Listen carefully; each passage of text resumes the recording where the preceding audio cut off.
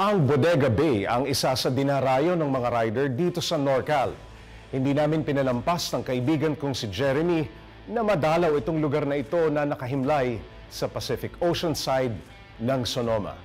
Sa pagpapatuloy ng aming road trip, nagmotor pa kami ni Jeremy na may 30 minuto o 40 kilometers patungo sa isang lugar na paboritong pasyalan ng mga riders gaya namin at iba pang mga turista, ang Bodega Bay. Kailangan naming huminto, mag-park at namnamin ang mga nakikita namin mula sa daan. Ang napili naming pit stop, ang Goat Rock. Jeremy, nasa na tayo ngayon?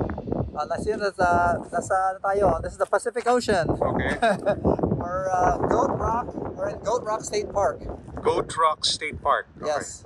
Itong uh, Pacific uh, Highway, ito yung uh, paboritong daanan ng mga nagmamotor Oo, diba? dito oo, sa talaga. dito sa Norcal, no? Sa NorCal. All the way down all the way down the coast from Oregon to LA. Highway 1 is the pinaka-popular uh, road. This is uh, one of the few spots na hindi rin ganun ka ano eh, ka popular sa ibang tao Oo, eh, tama, no? tama. Oo. So Bodega Bay is known for really good clam chowder, seafood, Oo. oysters. It's very famous here. Oo. Tapos, uh, and then the movie The Birds, Oo. Alfred Hitchcock movie was Dito rin. filmed- We're filmed going in there, no? Bodega. Later. Oo. Yeah, yeah. So we'll pass by that in the old church, old, old uh, schoolhouse where it was filmed.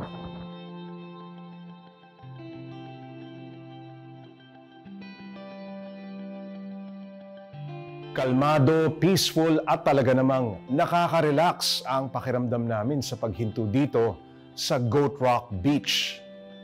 Sa huling tala taong 2020, tinatayang may 900 lang ang naninirahan dito sa Bodega Bay. Maliit at payak lamang ang lugar na ito at halos hindi naman makikilala kung hindi naging set location ng ilang kilalang Hollywood film.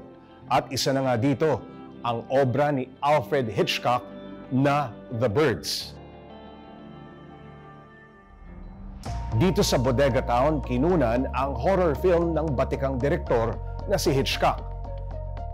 A lot of people come here. No? Yeah, so this nasa yun, nasa Bodega, we're in the town of Bodega. So we're away from the coast now, away from Bodega Bay. Hmm. So now we're in the town of Bodega, oh. where the the movie The Birds was filmed oh. here. It's an Alfred Hitchcock movie in the 60s. In the 60s. So this is the schoolhouse they use, and then that's the old uh-huh. church. Uh-uh. And then the town is just on the other side of this hill.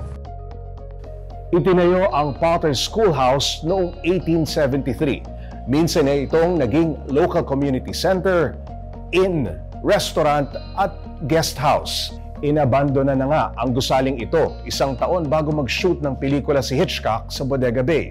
At nang lumabas sa pelikula, muling nabuhay at naging main tourist attraction na ito sa buong town. Ang Potter's Schoolhouse ngayon ay pagmamayari na ng isang pamilya at isa na itong private residence.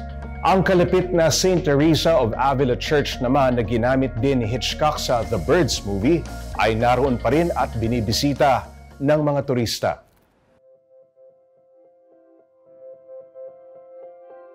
Sa maikling panahon ng pag-iikot ko sa Sonoma, pagbisita at pagdiskubri sa angking kagandahan ng mga lugar ng Redwood Forest at Bodega Bay, babaunin ko ang mga leksyon mula sa road trip na ito kasama ang aking kaibigan na si Jeremy. Ang pagbibigay halaga at pag-aalaga sa natural beauty ng isang lugar at ang pagbibigay importansya sa mga bagay na luma o struktura na naging bahagi ng kasaysayan Maaring ordinaryo na ang mga ito sa ating mga mata, pero dahilan pa ng pagdayo mula sa malalayong lugar ng iba. Hindi natatapos ang ating biyahe sa Northern California.